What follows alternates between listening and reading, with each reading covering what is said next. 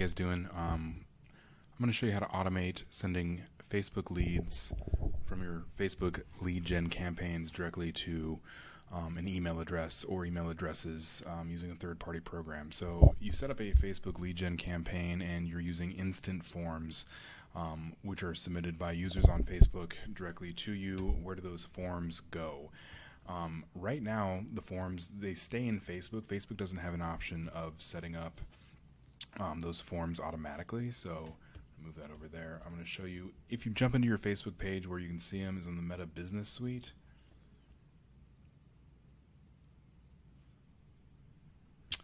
And then you're going to click on All Tools and Instant Forms. And the form that you have will be here. Um, you can download those leads there manually. This isn't very efficient. It um, you know requires you logging in here downloading them, um, remembering the dates you downloaded from previously, or downloading them all again and taking out duplicates from when you did it previously. It's not very efficient. It sucks. Um, here's how we do it at our agencies. We use a program called Zapier. Um, and it is a premium function of this program. So there's a free version of this, and then there's paid versions of it. And the paid version of it um, to do this, I believe, starts at $19.99 a month. Um, but you're going to want to sign up for that because this will make your life a whole lot easier. Um, and so we'll jump in. So uh, once you sign up, you create a Zap. Click here, and just uses basically like if-then logic. So if a Facebook lead comes in, then this happens.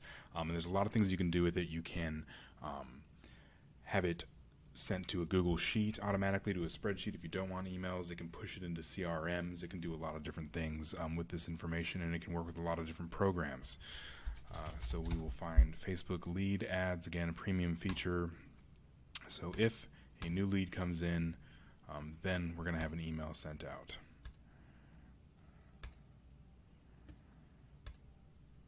So you want to find your uh, Facebook page that you're using. Once this is connected, it's going to pull all your Facebook stuff in automatically, so the stuff will just populate. It just takes a second.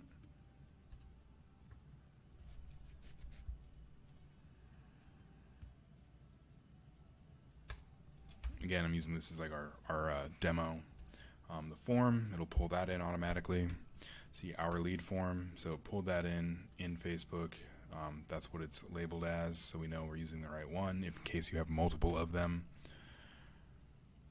and then we're going to test the trigger, which is just going to pull dummy information in. So everything is just, oh, this is dummy data. Depending on the questions you're asking now, the information that you're gathering, name, email, phone, created, city, state, zip, whatever information, custom questions, yes, no, short answer, all that stuff will pull in here um, that you can then set up to be uh, sent by email again, or added to a Google Sheet, or pushed into a CRM. Um, for this example, we're doing Gmail because I find that to be the most handy, especially if you're an agency or a business owner and you want to see as these leads come in in real time. Um, it gets you that notification.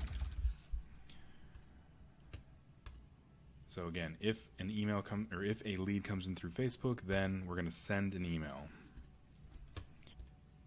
Choose your Gmail account. If you um, don't have it connected, you can connect it in that step. Um, and then again, just typing in, you know, who's this email going to go to? To um, CCC blind carbon. Um, you can choose a different from name if you want, or you can enter it yourself. Um, if you have a reply to subject, you know, new Facebook lead.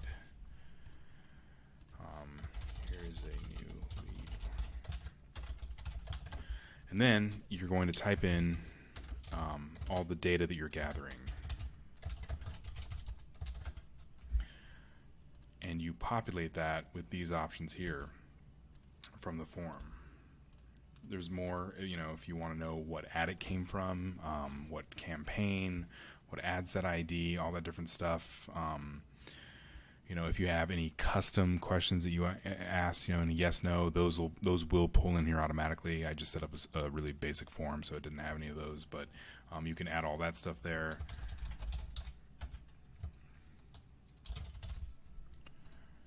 Make your email, hit continue, and now it's going to send this email, subject new Facebook lead, body type is plain. It's just say, here's a new lead for you, and it's going to, it'll automatically push that information that is entered by the user in the Facebook lead form. It'll drop that information in here and send it out automatically um, to have whoever it is that you deem it should be sent to. and that's it. You'll hit you know test action, and then you'll hit publish, and it will um, from then on send those emails uh, out to whoever it is that you need them sent to. One thing to note is you do have to be a page admin on the Facebook page. So you can't just be a user, you can't just be assigned like reporting rights or ad rights. You have to be a Facebook page admin. So if you're an agency, you're going to need your client to um, give you admin permissions. Um, or if you own the page, obviously, then you already are an admin. You should be good to go. Uh, but you do need to be an admin for this to work. Um, and after that, it's all automatic and it's done. So hopefully you found value in this video. If you have any questions, feel free to leave them in the comments. I do try to respond to them. And um, don't forget to uh, like and subscribe to this channel. I put videos like this out um, when I come across doing this task for real clients in the field. So uh, as I do them and I think, hey, this could be something that's interesting to um, our, our viewers, I or, or, to anybody that has this question on how to do it, I do make a video on it. So if you have any other questions, hey, how do I do this or that, um, using Zapier or Facebook um, or any of the other paid ad platforms, Google, um, we do spend a lot of time in several of them. Feel free to ask, and I will uh, do my best to make a video on those too. Thanks so much, and have a good day.